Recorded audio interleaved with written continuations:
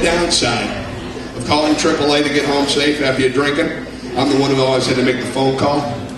Because out of all my friends, I had the best sober voice.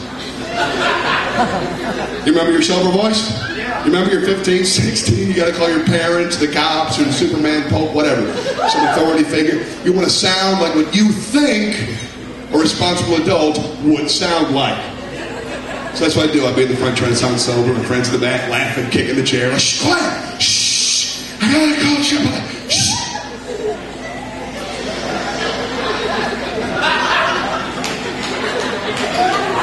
The story takes place in 1996. I should preface this, it's an older self. Texting was a bitch back then, but still, just stay with it.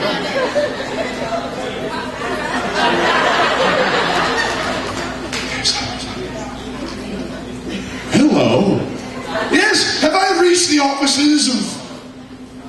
Ah. Yes, please send the Telslux to me at this time. My vehicle's north going. Forward. Presently. What's wrong with it? It's broken. The part that goes forward is severely malfunctioning currently in my proximity.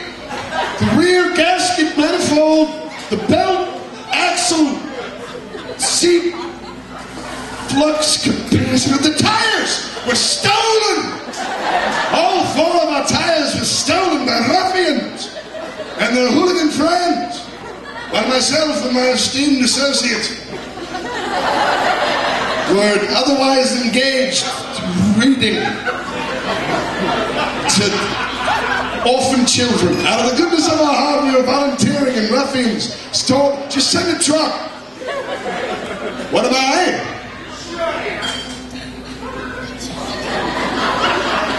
I'm up front with Charlie. Charlie says, hey. Oh, the guy, yes. I'm on the corner of Orange Boulevard and uh, walk. This is what the sign says. Don't walk. I can see it very clearly from my chair. Now hurry, send the truck to the corner of Orange in three. Three! It's blinking! Hurry! Two! One! What do we do? Never mind.